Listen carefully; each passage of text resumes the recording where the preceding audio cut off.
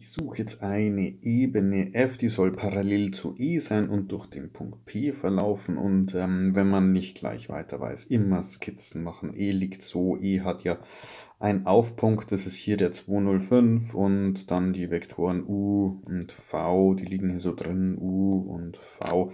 Und jetzt suche ich eine Ebene, die parallel ist und durch P verläuft. Ja, dann nehme ich den gleichen U und den gleichen V ja, und dann bin ich parallel und dann passt alles. Das heißt also den nur hinschreiben. Ja? Also f Doppelpunkt x ist gleich mein Punkt 3, 4, 1 plus Lambda 1, 1, 0 plus μ 1, 2, 1. Fertig, parallel.